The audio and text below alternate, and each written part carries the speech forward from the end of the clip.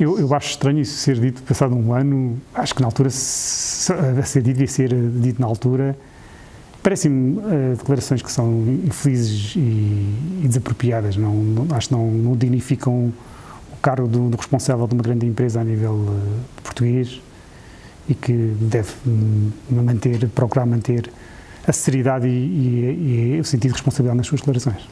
Também revela um certo desconhecimento de como é que eram, uh, como é que são o processo de tomada de decisões no, no governo, portanto não, não, não corresponde ao que aconteceu.